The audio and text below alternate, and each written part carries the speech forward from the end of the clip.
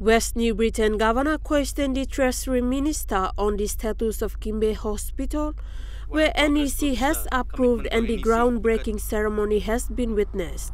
The one M status below Kimbe Provincial Hospital, where NEC approve him, na himi witness him groundbreaking. So one M progress below this la Kimbe Provincial Hospital. Now second question below me, um, NEC approve him on 5 million kina law. This la curfew operations law, West New Britain, after law big law and order issue.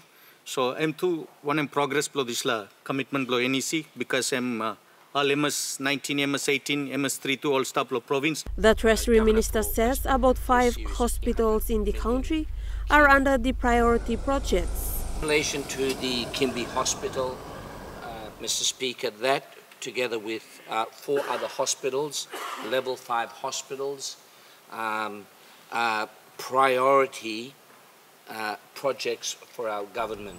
It's a, a, very large project, as you can appreciate, Mr. Speaker. Treasury is now finalising an NEC submission uh, to take to Cabinet uh, to endorse uh, this particular project.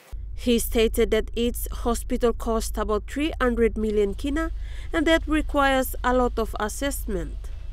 Um, and the time that's taken so far is because we have to ensure that all of these large projects, you heard me say five of them, uh, this plus four, this plus three others, uh, that's four times 300 million, that's 1.2 billion kina total. So we have to ensure that um, the uh, funding that takes place falls within uh, our financing plan for this year and falls within our five-year framework as well. Uh, so it's not quite straightforward, but we're getting there, and hopefully I'll have some good news to report back to the Governor in the near future. Esther Gane, National EMTV News.